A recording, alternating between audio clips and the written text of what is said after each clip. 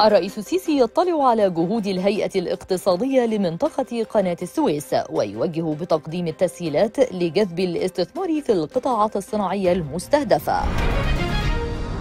مجلس النواب يوافق على برنامج الحكومة الجديدة بعد خمس ساعات من المناقشة العامة ويصوت بمنحها الثقة بالأغلبية المطلقة.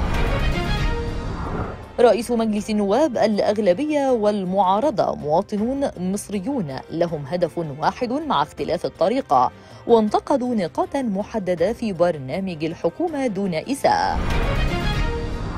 وزير الخارجية بدر عبد العاطي يتوجه إلى الأردن في زيارة خاطفة لعقد مشاورات مع نظيره أيمن الصفدي ويتفقد سير العمل القنصلي في مقر السفارة بعمان. الأمين العام للجامعة العربية يدين إعلان الكنيسة الإسرائيلي رفضه إقامة دولة فلسطينية مستقلة ويؤكد باطل ويكشف الوجه الحقيقي للاحتلال.